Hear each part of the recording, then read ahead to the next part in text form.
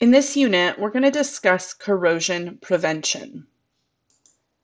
There are three main topics in this unit. First, types of corrosion.